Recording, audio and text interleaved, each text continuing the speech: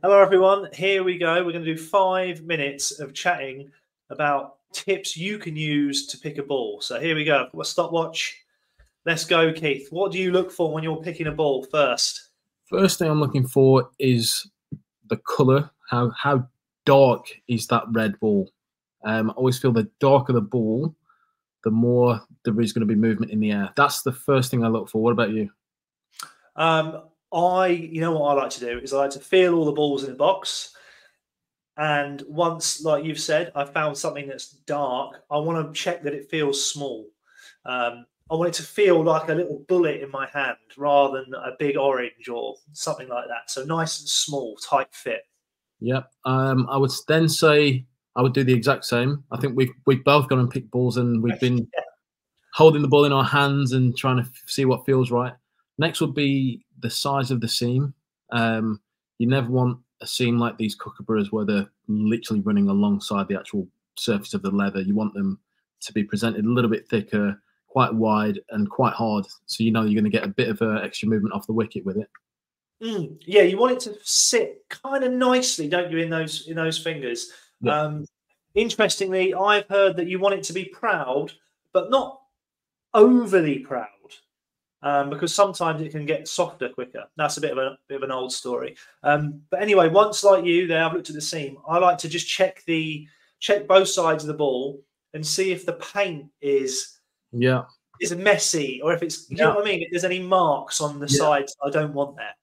Yeah, um, it's got to look. The ball has to look good. It has to look like it wants to be chosen. If you know what I mean, it's, it can't be like you said. Even if the printing looks a little bit kind of shimmery or just not right, I'm, I'm more than likely going to put that ball back and look for something that presents itself beautifully.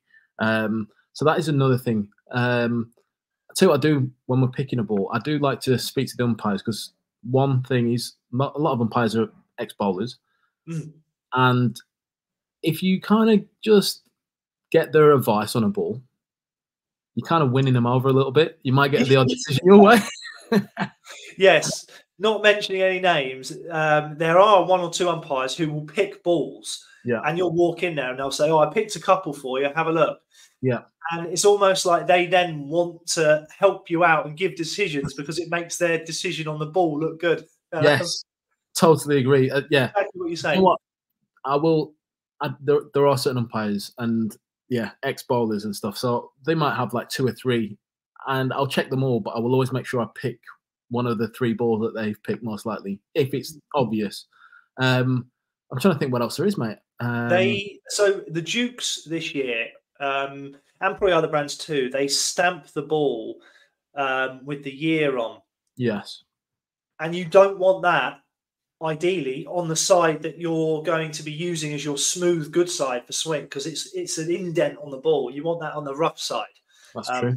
Something that they didn't do this year or last year actually they were stamping on the on the good side. It was really frustrating. Um, i like to check that when you flip it up yeah.